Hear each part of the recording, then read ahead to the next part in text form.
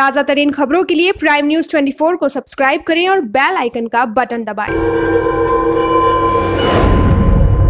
नमस्कार, आप देख रहे हैं प्राइम न्यूज़ 24 मैं हूँ कृतिका कोरोना संक्रमण की मार में जहाँ आगरा जनपद उत्तर प्रदेश में सबसे बड़ा हॉटस्पॉट बना हुआ है, वहीं इस संकट की घड़ी में लड़ने वाले योद्धाओं की भी कमी नहीं है। हम बात कर रहे हैं ऐसे ही जुजारू भाजपा के युवा नेता और उत्तराखंड की राज्यपाल श्रीमती बेबी रानी मौर्य के पुत्र अभिनव मौर्य की, जो जन सरोकार का उत्तरदायित्व निभा रहे हैं।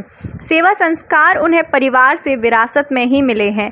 इस संकट में उन्होंने अपने कार्यकर्ताओं के अखत प्रयास में कोई भूखा न रहे। इस उद्देश्य को पूरा करते हुए गाँव मनोहरपुर, नरीपुरा, नगलाधनी, रामबल, नगला, ठीपुरी, ताजगंज, देवरी रोड आदि आगरा की मलिन बस्तियों में भोजन सामग्री वितरण कराई, जिसकी संख्या हज़ारों में है।